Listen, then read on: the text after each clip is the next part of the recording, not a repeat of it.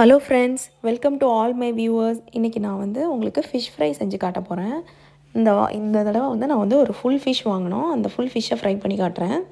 இங்கே வந்து பட்டர் ஃபிஷ்னு ஒன்று கிடைக்கும். அதை தான் நான் வந்து ஃபுல் ஃபிஷ் ஃப்ரை பண்ண போகிறேன் அதுக்கு வந்து ஒரு டீஸ்பூன் சில்லி பவுடர் அரை டீஸ்பூன் வந்து மல்லித்தூள் அதுக்கப்புறம் கால் டீஸ்பூன் வந்து பெருஞ்சீரகத்தூள் அப்புறம் தேவையான அளவு உப்பு கொஞ்சம் கால் டீஸ்பூன் மஞ்சள் தூள். இதெல்லாம் சேர்த்து நான் வந்து இந்த மாதிரி மிக்ஸ் பண்ணி வச்சுருக்கேன்.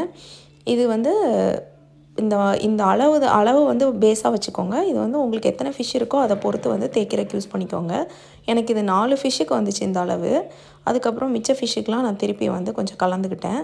உப்பு வந்து எப்படின்னா நீங்கள் அந்த மசாலாவை தொட்டு வைக்கும்போது நல்லா தூக்கலாக இருக்கணும். அந்த மாதிரி இருந்தால் தான் ஃபிஷ் ஃப்ரையில் வந்து உப்பு நல்லா என்ன சொல்கிறது ஃப்ரையில் நல்லா இறங்கும் உப்பு.